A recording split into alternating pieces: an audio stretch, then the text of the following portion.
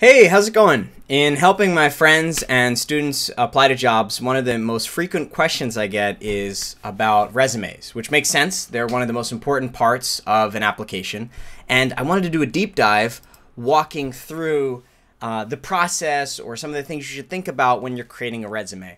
I originally thought of making a, a Fiverr account, and there are a few, there are many uh, Fiverr accounts which will help you work on your resume. But I thought it might be better just to dedicate my time once to explaining sort of the process I go through uh, when I'm reviewing a resume or, or, or updating it.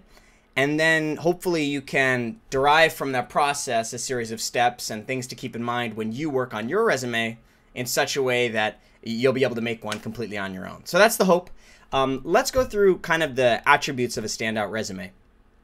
Uh, with respect to also, sorry, by the way, uh, link in the description to the blog post.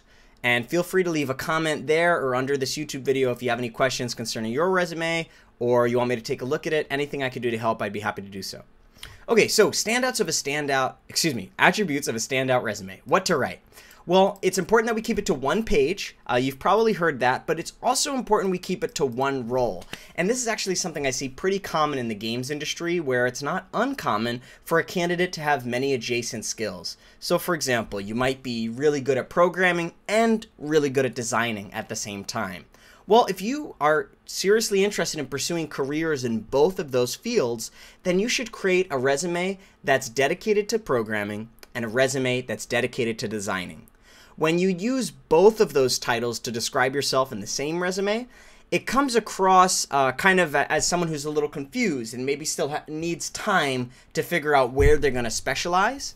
Um, there's a whole bunch of uh, disciplines which fall somewhere in between. So, for example, a gameplay engineer is someone who engages with design but is certainly doing it from an engineering perspective. So, maybe one of those roles might be a good fit for you.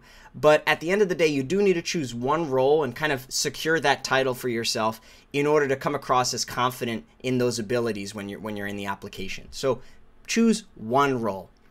Um, text should be in bullet points. Avoid prose at all costs and keep things as concise as possible. The color should be minimal. And uh, if you're going to use images, they should also be minimal as a way to guide the viewer. Uh, I would avoid including portraits, um, a picture of yourself. People might judge that, and generally it's better to, to leave that out. There are some countries where it's almost required for you to have a picture of yourself on the resume, but the United States is uh, pretty decided in, in asking candidates to exclude that. It, it doesn't seem to be a good idea usually.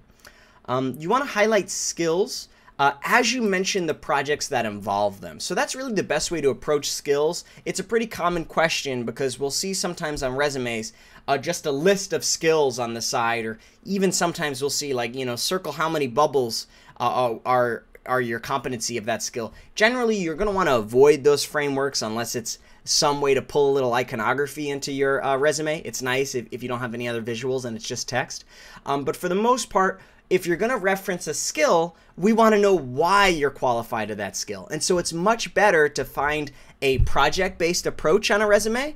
And then if you have a project that says, you know, solo developed Java application, well, then I know you're skilled in Java. And that's a much better way to do it than to have some arbitrary three out of five skill in Java, you know, at the bottom of the resume. You want to have a project associated to each of those skills you purport to hold. I would avoid including the GPA unless you're a new graduate and it's really impressive. But for the most part, especially in the games industry, a GPA is just not relevant and doesn't need to be included. Um, a lot of people forget that resumes today are pretty much solely digital objects. It's very rare that you're going to hand someone a resume, maybe in a career fair. I can't really think of another example. Um, and since you're going to be emailing them this resume, it's really important that if you're going to reference a project, that you link it within the resume. They should be able to get really excited about a project and then click on it and immediately go to that page of your portfolio um, or, or learn more about the project somehow online. We'll talk about portfolios another day, but uh, they're also a very important piece uh, of being a modern programmer email address as well, and we don't need anything beyond that. So I would avoid including your phone number and address unless you're applying for a position where that's relevant. Um, some things to keep in mind when you're writing down these details are to try and, wherever possible, reference numerical results. What that means is to say I increased downloads versus I increased downloads by 10% um, from quarter one to quarter two. The latter one is way more impactful because we have an actual number that we can crunch and uh, sort of gauge the the the accomplishment with respect to something. If you just say I helped customers, we don't really know how much you helped them or or if you even made an impact at all, right? So it's always better to have a number associated with your achievement when possible. In general, we want to focus on those achievements rather than responsibilities, and that's a recurrent theme in pretty much all resume advice I'd give. Um, we want to focus on what did you achieve versus what were you responsible for. Okay, um, keep that in mind. And then finally, avoid using passive verbs wherever possible. We do want to find those punchy, concise, powerful verbs. So something like observed or participated is certainly not as powerful as designed, implemented, or even led. Uh, those are all much more powerful verbs if we could use them. So I also included a, uh, an example of my resume, which uh, uses a lot of pictures in order to highlight uh, some of the more well-known teams I've worked on. Uh, I also included here a reference for freesumes.com. This is actually a really good place to find templates if you're building your resume from scratch. You want to get a little design sense behind them. So you click Browse Templates here. And what's really nice about this is you'll be able to download the Word document and directly edit it. Okay, so if one of these, you know, you find it exciting, then you could download it and immediately start editing it. Okay, and then just uh, two quick tips before we jump into case studies. The first is the long one page. Now, as I said before, it's really important we keep that resume to one page. Otherwise, um, it just looks bad. It looks like we failed to fit it on one page, essentially. Um, and so there are some exceptions for when you might want to have more than one page, but if this is, uh, you know, and, and the only exception I can honestly think of is if you're going to list references in an academic setting. So, for example, if you're a researcher and you want to list all the papers you worked on, it might be relevant to include an extra page for that. But for the most part, especially in game development, I really can't think of a good reason to have more than one page. But let's say you're really close and on a standard 8.5 by 11 inch piece of paper, you just can't fit your resume, well, then I do have a little bit of a trick for you. And that's if you're designing in a Microsoft Word, you could go into File, um, Settings. There's some settings here. Let me see. I think it's in, here it is. Layout. You go to Layout, then you go to Margins, then you go to Custom Margins.